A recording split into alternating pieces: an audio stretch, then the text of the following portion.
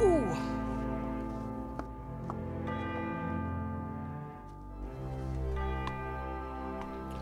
Oh.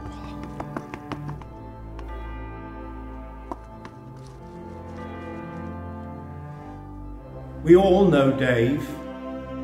He was our fave. He's what we crave when we're feeling low. Dave Thursby had a long career as a well-loved comedian on national television. Ooh. If he wasn't performing, he was with his dog Bruno on the golf course. Well, usually in the rough or stuck on hole 15. Oh.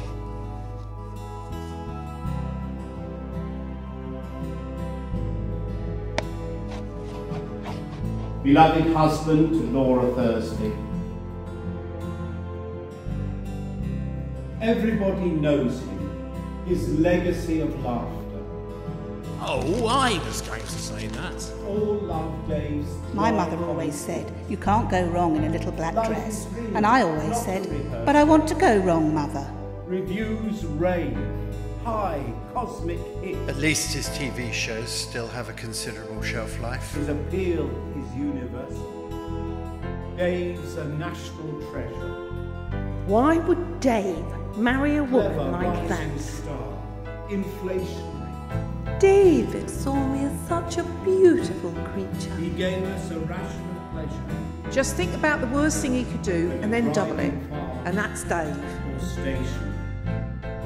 Or station. We all know Dave, his body of material, his soul is now ethereal. Your death couldn't have come at a worse time. When I first met you, you were living in a shoebox in Earl's Court. Now look at you. Odd how things go in full circle. What was it you always said to me? Pull up a couple of chairs and sit down, Vi. How we all laughed. What's he smiling about? He looks like he's about to come out with a one-liner. Everyone wants to make a gesture. Do you know what mine would be? I must say, I've seen you in better shape. Death can be very ageing.